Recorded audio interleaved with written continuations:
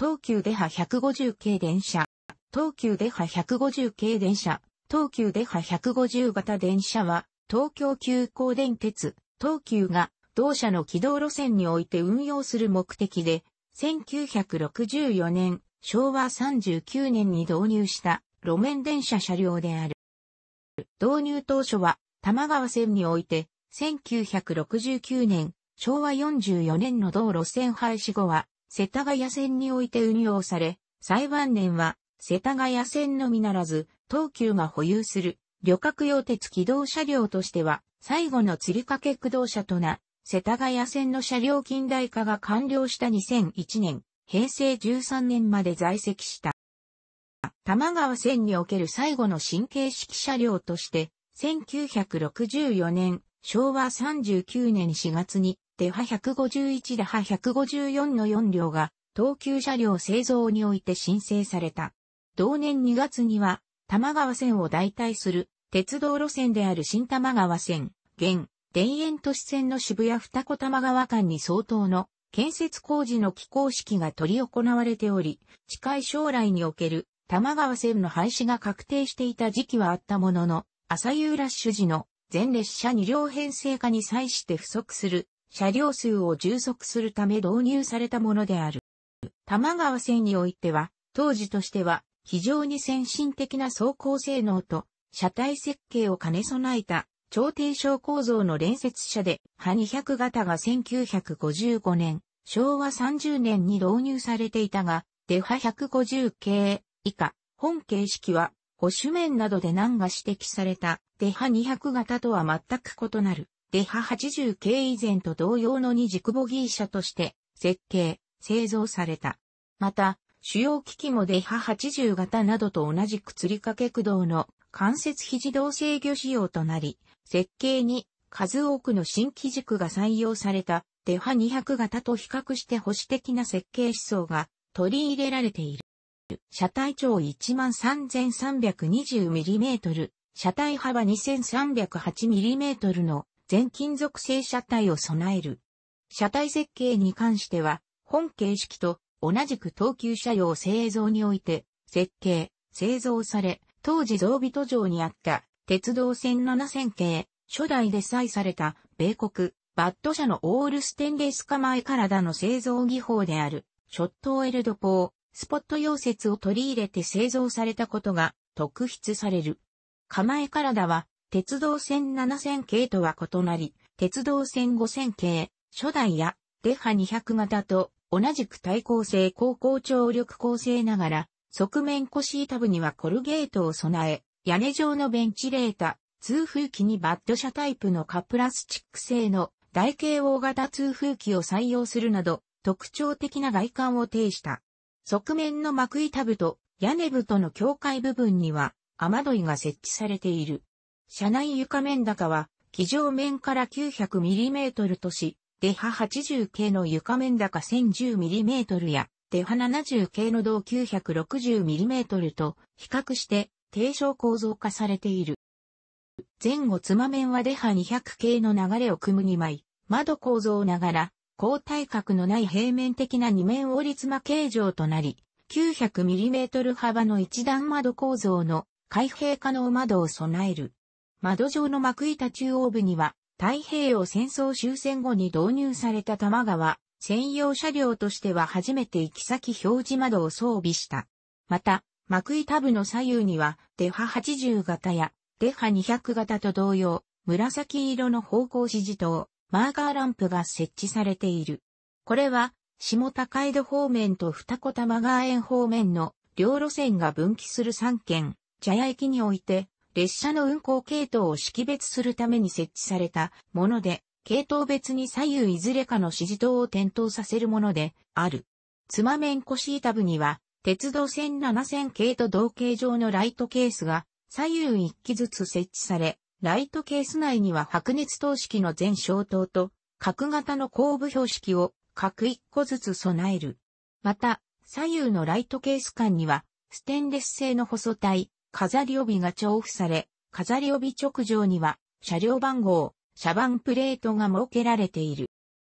側面には 850mm 幅の片開け客用扉を3箇所設け、デハ80型とは異なりすべての客用扉直下に内蔵型の乗降ステップが設置されている。各客用扉間には、戸袋窓を含めて、計5枚の側窓が配置され、開閉可能窓については 720mm 幅の一段加工窓構造として、倉下には保護棒を設置し、戸袋窓は若干強幅の 680mm 幅である。両端の客用扉と妻面との間にも 380mm 幅の乗務員用開閉窓を設け、側面窓配置は 1D5D5D1、D、客用扉、各数値は側窓の枚数である。前述の通り、側面腰板部にはコルゲートを備えているが、このため、従来車では、双化腰板部へ設置されていた TKK の社名略称表記と社番表記が本形式では窓上幕板部へ移動している。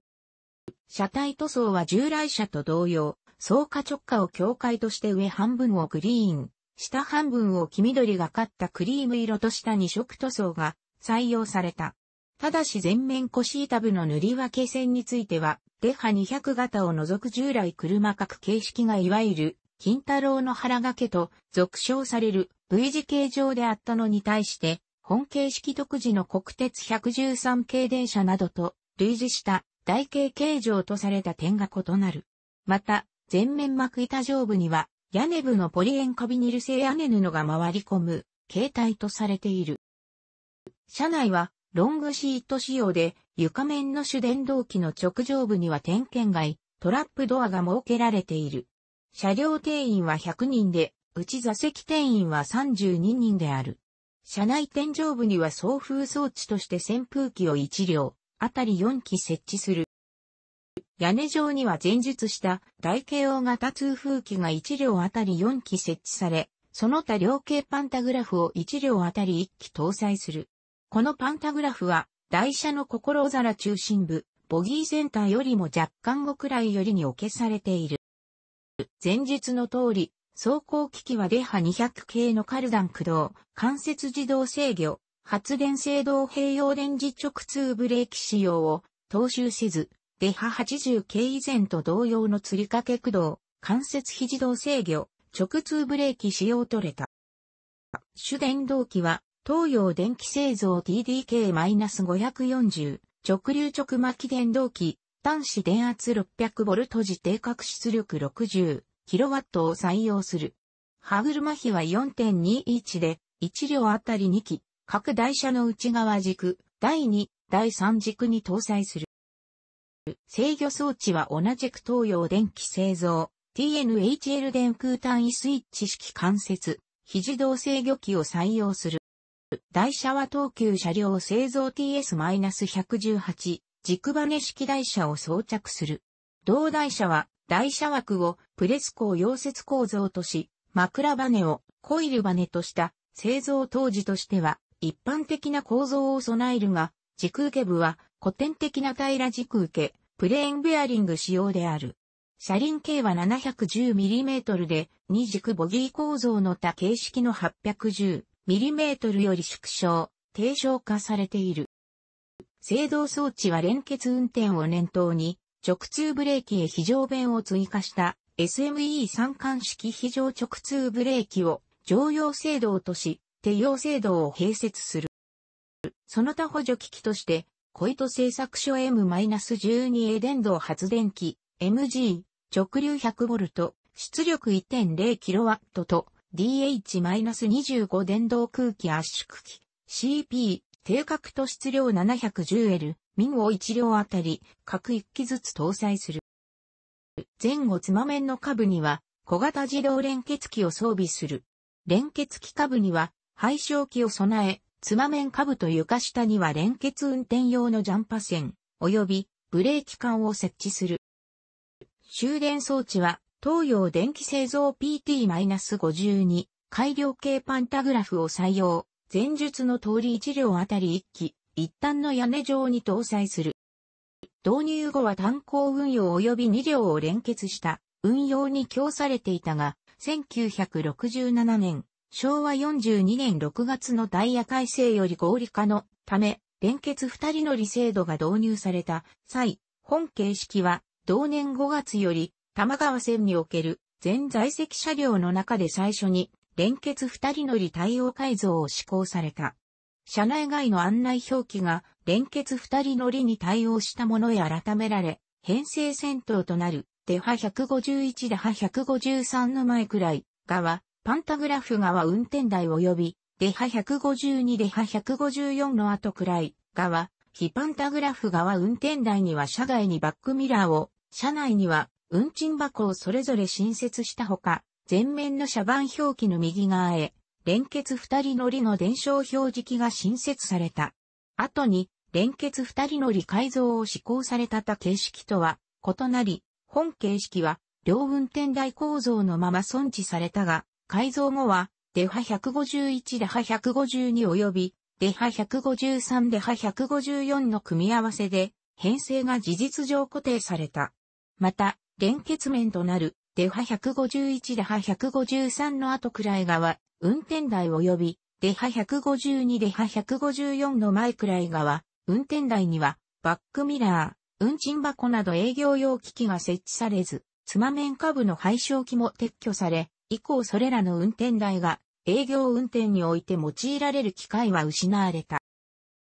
1969年、昭和44年5月の玉川線廃止に際して、デハ200型を含む多くの従来車が全廃となったが、本形式は4両前車がデハ70型や、デハ80系の一部と共に残存し、三軒茶屋市も高井戸間の支線が分離、独立した世田谷線において継続運用された。その後、1970年、昭和45年により、車体塗装のライトグリーン一色塗装化が施行され、また1974年、昭和49年9月以降、側面の TKK 表記が東急の T を図案化した現行の車門に交換された。落成から20年弱を経過した1983年、昭和58年から翌1984年、昭和59年にかけて、全車を対象に、車体更新修繕工事が施行された。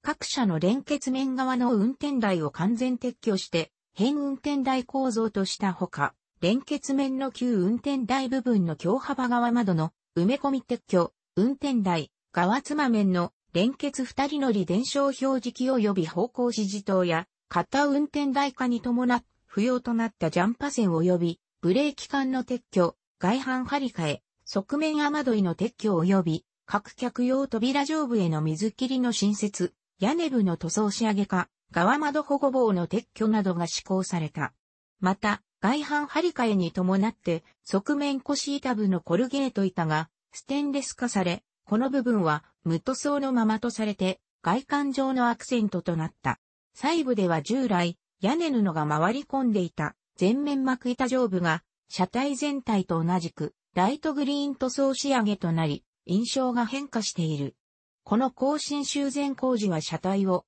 長津田車両工場へトレーラー輸送した上で、東横車両伝説、現、東急テクノシステムによって施行され、搬出及び搬入は、上町駅最寄りの踏切にて行われた。1985年、昭和60年には、各編成の奇数車、デハ151デハ153の補助電源装置を SI-108 静止系インバータ SIV 交流 100V 出力3.5クバに換装した。さらに1990年、平成2年以降、鉄道線初代3000系列の廃車に際して発生したシールドビーム式の全消灯を流用して、従来白熱灯式であった全消灯のシールドビーム化、制御電源の低圧化、保安ブレーキ取り付け、前面向かって、左側の車掌側前面窓の二段窓化、台車軸受けの密封コロ軸受け、ローラーベアリング化などが順次施行された。ただし、本形式は、デハ70系及び、デハ80型において施行された、台車、主電動機心臓による、カルダン駆動化は施行されず、鉄道線3000系列の全廃及びデハ70系、デハ80系のカルダン駆動化後は、形式が東急が保有する旅客用車両における唯一の釣り掛け駆動車となった。また、本形式もデハ70系、デハ80系同様に退役まで冷房装置は搭載されず、終始非冷房仕様であった。世田谷線のバリアフリー推進及び運用車両の近代化計画に基づいて、1999年、平成11年より、東急の軌道路線向け新造車としては、本形式以来35年ぶりとなる新型車両300系の導入が開始された。300系は本形式を含む従来車全車の代替を目的に導入され、また申請に際して、台車、駆動装置など一部の機器をデハ70系、デハ80型より転用したため、300系の導入に伴って、両形式の淘汰が進行した。ただし、主要機器が原型のままであった本形式は300系の機器教室対象とならず、従来車の運用最終日となった2001年、平成13年2月10日間4両全車が在籍、運用された。運用終了後、デハ153が2001年、平成13年2月12日付、デハ154が同年2月17日付、デハ152が同年2月24日付で順次除籍され、最後まで車席が残ったデハ151の同年3月4日付の除籍をもって形式は全廃となり、世田谷線における在籍車両は300系で統一された。廃車後の本形式は全車とも解体処分され、現存しない。楽しくご覧になりましたら、購読と良いです。クリックしてください。